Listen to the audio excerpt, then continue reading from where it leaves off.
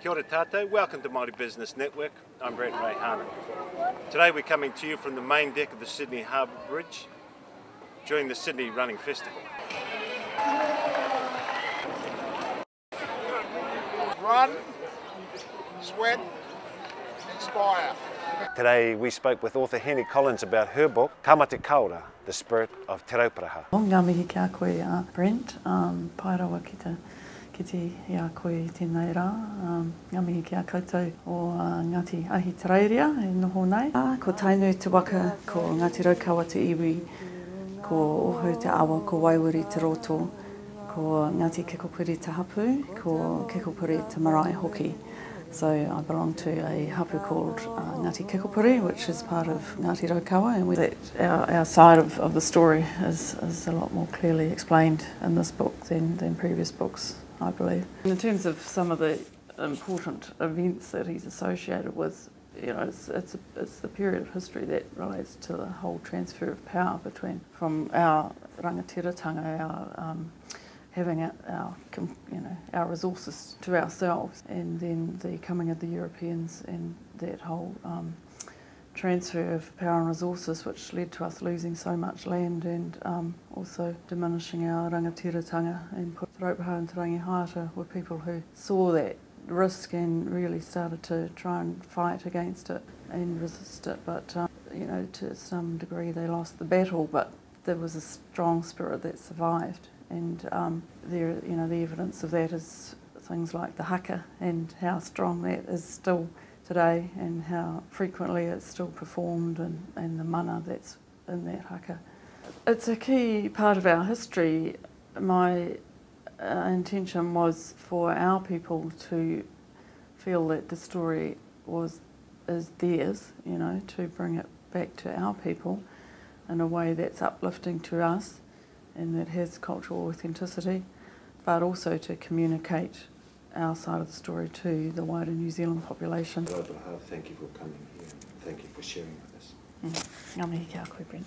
We also spoke with Dr. Des Kahotea, Fulbright scholar, anthropologist, archaeologist.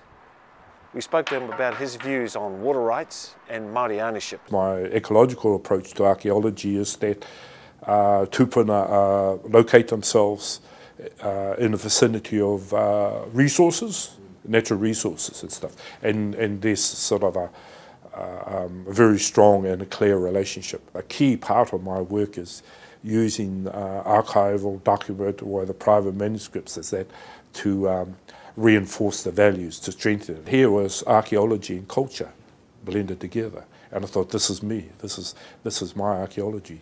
The Māori perspective about uh, what I call the cultural landscape has to be um, an opportunity to give it to be expressed, whatever form, so people really know about it.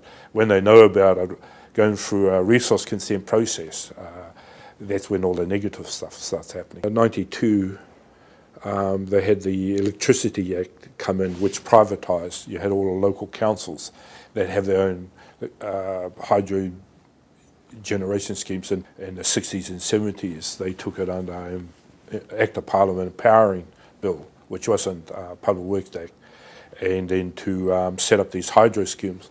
And a lot of it, the infrastructure was placed on Māori land, which was bush. So back in 92, so there was a hui called for in Wellington, uh, you know, for, for the Māori who had claims against the, um, the privatisation. And then so uh, Manu Paul there was there with uh, Whenua, um, and their issue was about they owned the water. I've uh, gone through a whole uh, Waitangi Tribunal claim process and understood it's asset stripping. And most of it is we just look at land, but there's a whole lot of range of resources. There's geothermal, um, oil can be part of it. We know we have ownership of it, you know, under customary, 10-year customary rights. The iwi by iwi basis is doing a deal.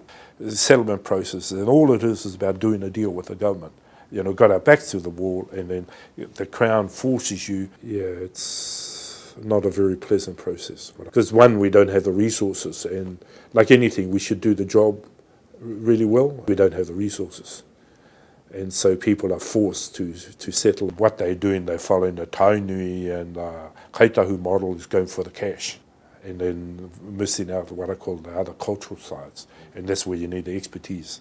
Ai me mehi mahana ki tō mahi rangatira. Uh, me tō whakauro, me tō kōrero.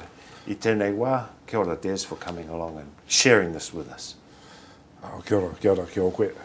Uh, kia ora koutou e noho mai i tēnei taha. Uh, o te ao, nā reira, kia ora ana tātou. Don't forget we've got New South Wales Mighty Rugby League out at St Mary's on the 29th of September. We've also got the Tutoa Wānanga out at Heathcote, the 2nd to the 5th of October. Make a comment, go to our Facebook page, facebook.com slash Māori Network. This is Māori Business Network. I'm Brent Rehana. Until next time, noho ora mai. Tā kiri ko te e ki runga o.